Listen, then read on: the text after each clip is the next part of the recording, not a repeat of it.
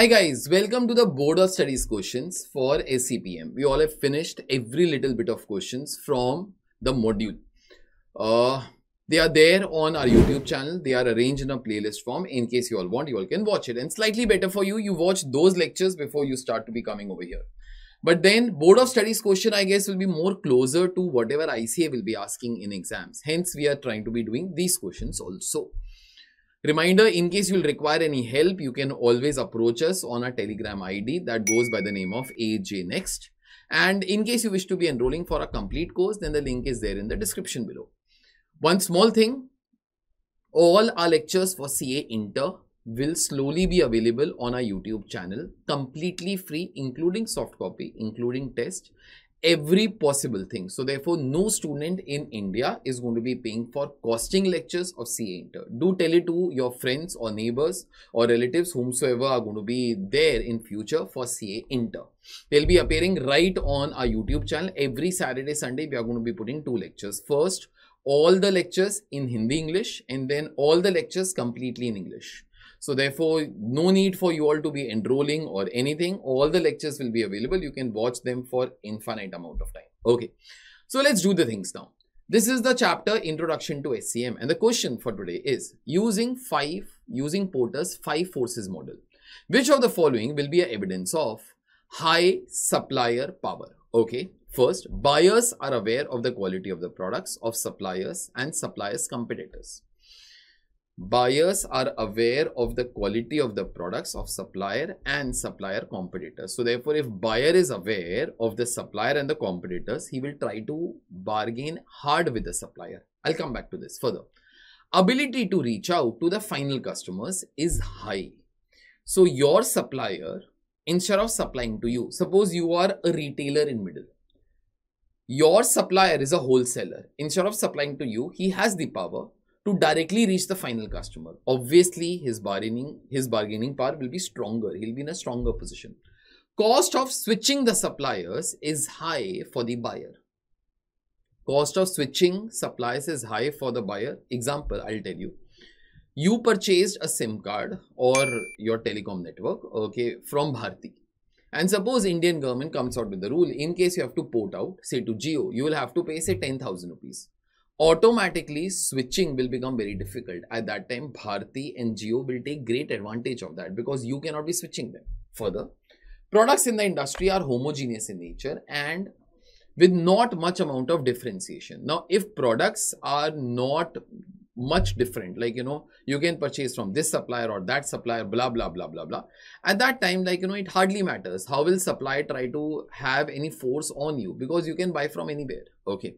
I've discussed few of the things, but for those people who don't know what is Porter's five forces model, it was a model basically made by Michael Porter.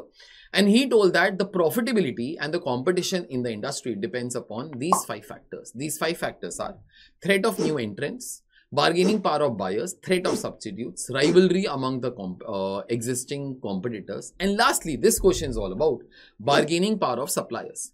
Bargaining power of suppliers, it's a very simple thing. If supplier will have more bargaining power, he will supply you at a higher rate. If he will supply you the raw materials at a higher rate, your profit will be go, uh, going down. Vice versa. If he does not have much amount of bargaining power, then in that case, he will supply you at a lesser rate. So your cost will be going down, your profitability will be going up. So this question was all about that. So you had to be saying in this that uh, using five forces model, which is evidence of high supplier power.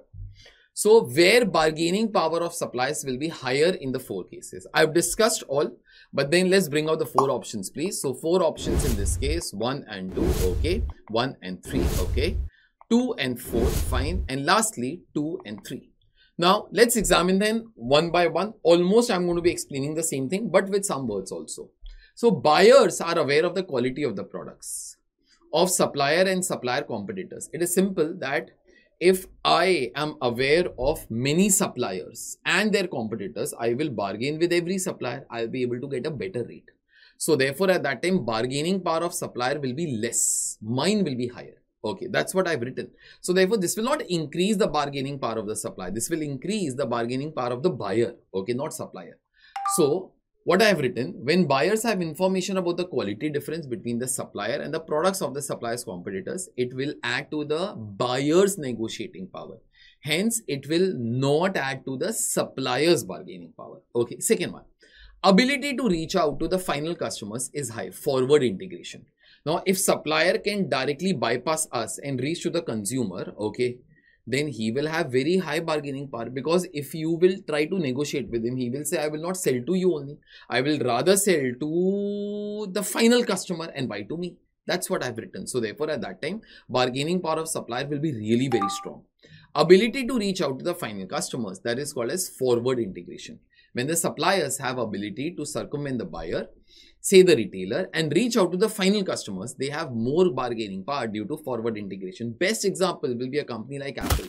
Now, Apple in beginning was always dependent upon the brick and mortar stores. That is like, you know, your normal shops whereby you go and buy the Apple phone. But you all know now that the largest sales of Apple actually happens from where? It happens from Apple's own website. So therefore now they have bypassed these particular people. So therefore now these people like say Reliance or uh, say Croma, they don't have much bargaining power when it comes to Apple because Apple knows that it can sell directly also to the final consumers. Okay. So therefore here bargaining power of Apple that is the supplier of Croma will be very high. Okay. Third one.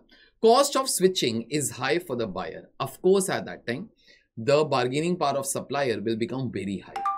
When a cost of switching is high for the buyer, there would be tendency to stick to the same supplier. Hence, supplier gets more power. Example, now the person who used to be printing my books, okay. Now he has soft copy of all my books here. Now, and he's used to my style. I tell him today I want the books by tomorrow, he will do it. I don't know whether any other supplier will do those things for me.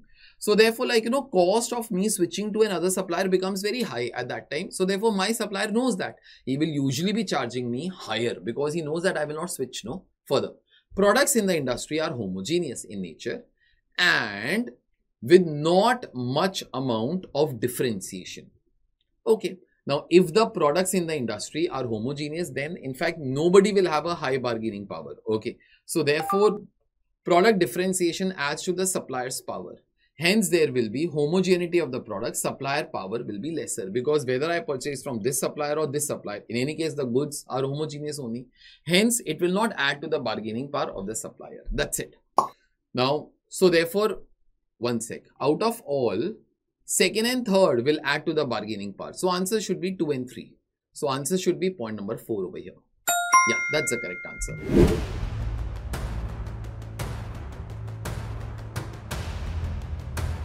Let me also just remind you that all the MCQs of CA Final module of SCPM are available on this playlist. You can scan and watch those lectures before actually you watch the lectures from Board of Studies you will have concepts over there you will have the summaries over there of each and everything of like you know we discuss the mcq but then we discuss the concepts uh, behind it. We discuss the summaries uh, behind it before we try to reveal the final answer. I'll see you all next time. Take care. Bye.